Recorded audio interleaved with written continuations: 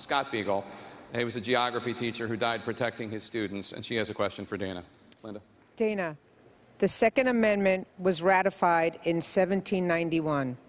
The Declaration of Independence was written in 1776, which gave my son the unalienable right to life, liberty, and the pursuit of happiness. So I ask you, why are my son's unalienable rights not protected as fiercely as the right to bear arms?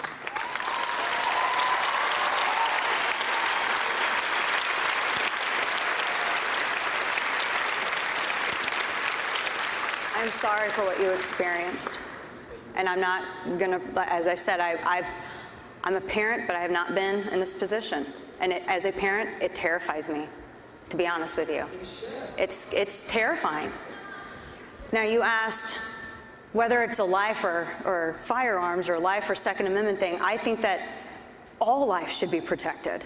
All life should be protected. That's why next week there's going to be good guys with guns that are going to be in school protecting lives, just as there's armed security here. We are in the presence of firearms protecting lives. This isn't a you, if you believe in your right to self defense, you hate kids. Or if you believe in your right to self defense, you don't believe that people have the right to live. That's not what this issue is. This issue is about making sure that we're protecting innocent lives. No innocent lives should be lost. None of them should. When the Second Amendment was ratified, they were talking about muskets. We're not talking about muskets. We're talking about assault weapons. We're talking about weapons that of mass destruction that kill people.